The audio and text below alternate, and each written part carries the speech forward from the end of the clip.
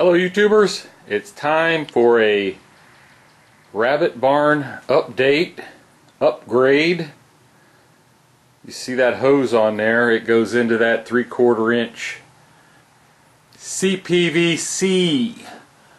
Looks like I gotta block it up here and there, fasten it up, but it runs all the way over there, up, and over to my barrel. Let's go up and take a look.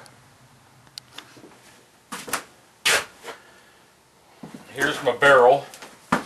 I kind of got this idea from Vicky, Gravy111. I'll put a link in the bottom if I can remember.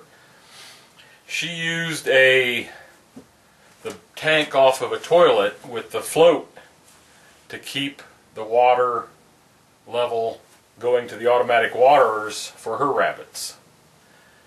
Well, I wanted to put that in here, but I didn't know how to do it because the the mechanism is mounted at the bottom and I would have to make a bracket that went down like this so that I wouldn't have holes in the side of the bucket where water was at.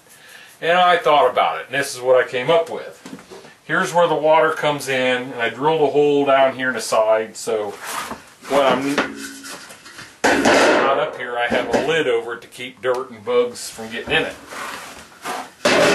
Well, I put this aluminum bracket across the top to hang a bucket.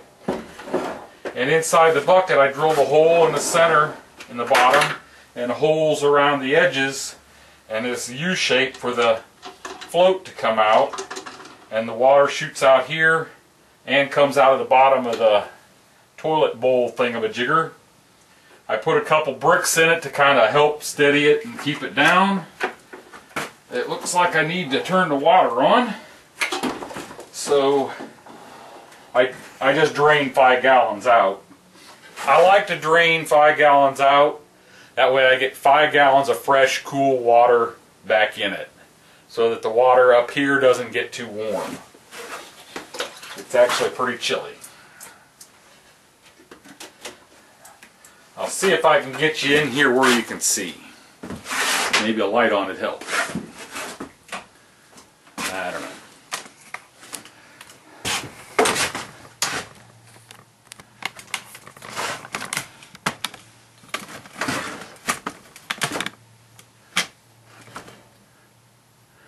I think you'll be able to see it. I'll go turn the water on.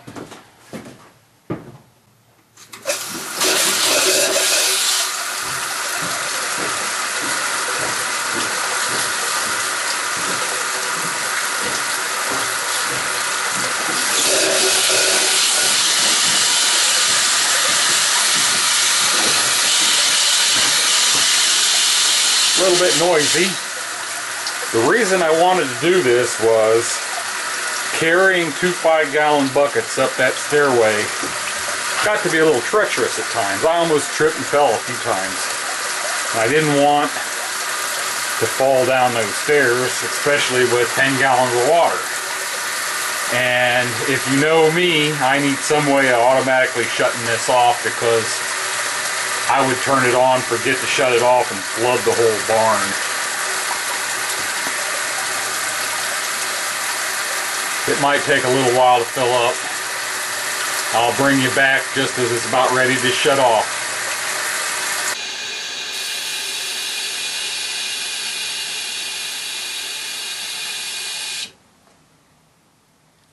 Holy crap, I didn't think it was ever going to fill up.